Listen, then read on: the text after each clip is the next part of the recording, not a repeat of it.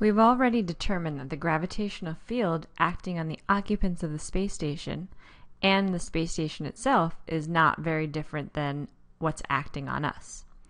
So how come they don't fall to Earth? So the gravitational field will be pointed towards the center of the Earth.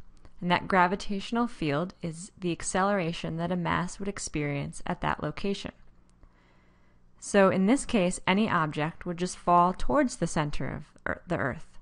How could that be avoided? To help you think of the answer, think of another situation where acceleration is towards the center of something. If you thought that that diagram looked a lot like our circular motion problems, you were right. If that object has a tangential velocity perpendicular to its acceleration, it will go in a circle. It will keep falling but never reach the earth.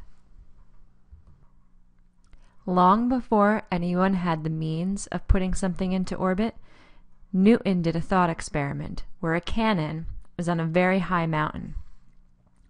So when the cannon shoots a cannonball, maybe first it'll land here at D. If it's a little faster, it would go here to E.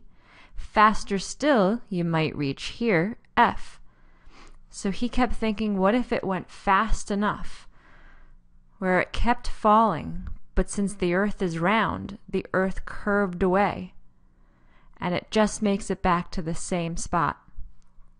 So that it never falls to earth, but goes into orbit.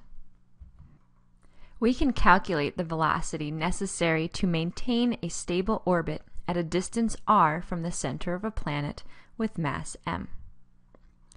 Start with Newton's law, sigma F equals ma. Our sigma F is simply your gravitational force, g big M times little m divided by r squared.